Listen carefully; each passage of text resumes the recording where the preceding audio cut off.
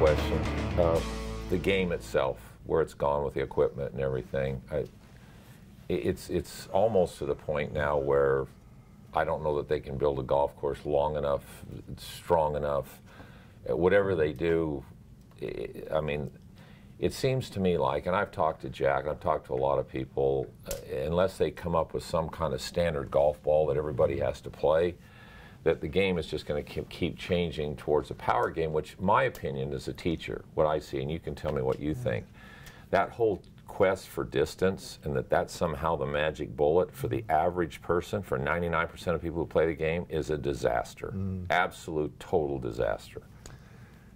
I couldn't agree with you more, Mike. You know, we play in a lot of pro-ams throughout the course of the year, whether it be outings or tournament-related pro-ams. And, and I suppose uh, unless you are a really good player, a very low handicap player, the odds of you really seeing the benefits of the advertisement yeah. are not very good. Mm-hmm. Now, that doesn't mean that you can't be fit for clubs that are oh, better oh, yeah, for, for you sure. and all that. That doesn't mean it. Then you might have a golf swing. But, but unless you create club head speed, you're not going to see these incremental distances jump from well, I went from 250 yard drives to 300. It's not going to happen. Doesn't happen. No. It might go from 250 to 251. Yeah. And I just I can tell you that right now because it's happened to me. My club head speed has come back. Yeah. And I don't care what club I hit or with what ball, they all go the same right now. Yeah. Uh, but it, it, and they're all real close to me. but I, I think closer than. closer than they used to be. And I know that because the courses we play year after year after year, I used to be there. Yeah. Now I'm here with better equipment today, better balls, but anyway. So anyway, to me, I, and I don't know this, but I, I asked the question because I'd like to get an answer: is if we took the size of the driver head from 460 cc's right down to 400, so we decrease that rebound effect some. 380 cc's, whatever. Let's yeah. bring it down. Okay, let's take the ball and what is it, 280 feet per second or yeah. two, okay, let's say that comes down to 250 feet per second. Whatever the the the measuring device or the line in the sand, whatever it is, let's reduce those. You can still have your Titleist balls and your Callaway balls yeah, and your Strix. They just have to now meet that 250 or 225. If you could decrease the length or the, the speed of the ball by 10%, whatever that is. Let's call it 280, so now 10, you're 28 yards. Yeah. Round it up to 30 yards. If those 30 yards could be added to a golf course, if you could take that yep. and add it now, 30 yards becomes, you know, you, 7,000 yard course now becomes pretty long. It can be long. Yeah. This course at Kiawah you know, now from being 7,980 or whatever it is, it becomes 8,000 something. Yeah, it's, it's impossible. And, and so where is this going to stop? Yeah. Uh, I, I, I can't see it stopping unless they draw the line in the sand. And whoever they are, they've got to say, I don't care if it's oh, in the year 2030 or 2050 or 2022. I don't care. Put that line in the sand and have all the manufacturers say, okay, at this point in time, give them time to depreciate their equipment, write it all down, get new equipment in, if that's what it takes. So, from a business model, you're not just throwing money away because you got a new camera. Right, right. Okay, let's wear that camera out and then replace it because now it's it's depreciated. It's written off the books. Right. I, I get that, but we've got to do something that says, in the future, we are not going to allow anchoring if this is anchoring, if this is anchoring, you, you can't have it. At, it's got to be in your hands yeah. and nowhere else. That's that's an integral part of our game is how you manipulate between the mind yeah. and the ball. There's hands in there, and those hands want to do this. Also, your hands are important in the golf swing.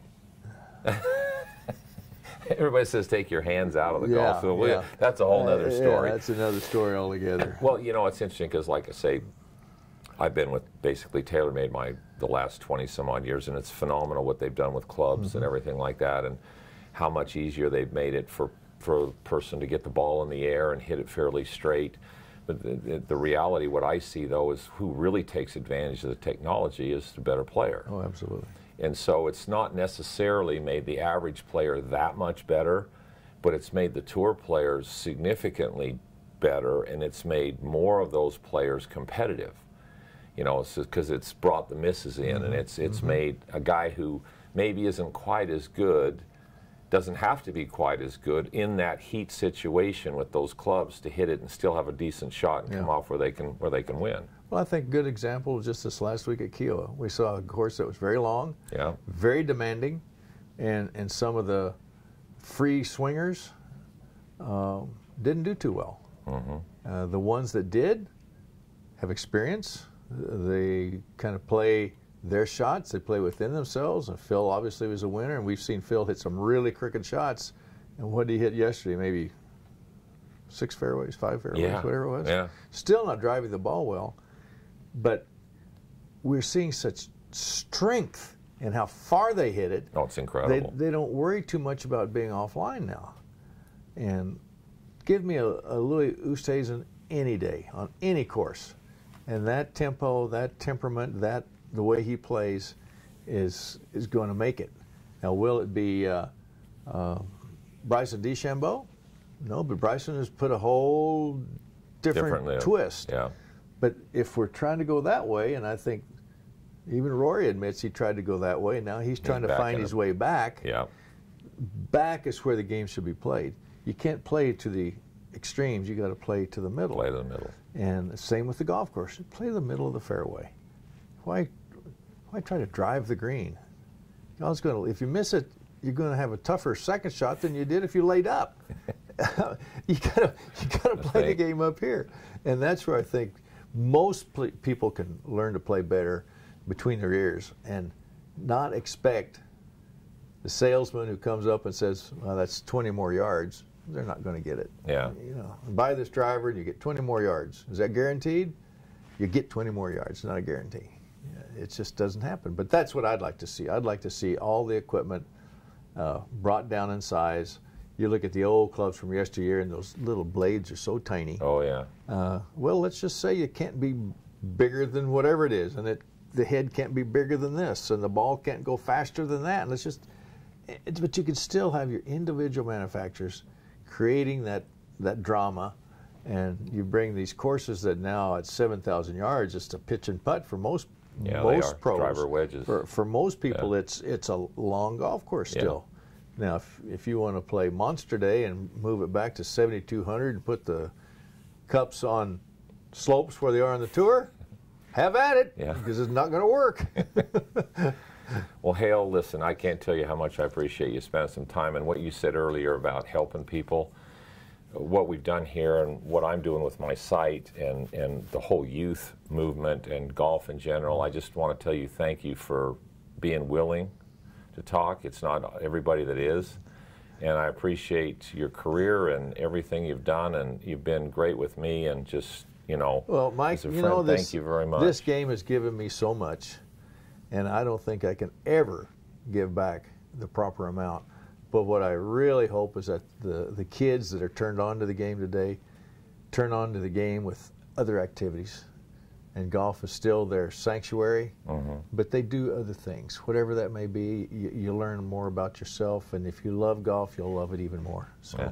that's what I hope parents and kids take away is that golf's a game for a lifetime, not just because you're six years old or 12 years old.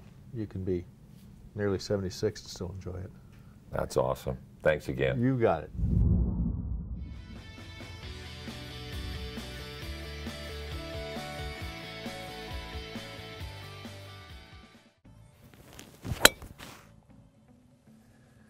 Be sure to subscribe to my channel for regular updates and tips.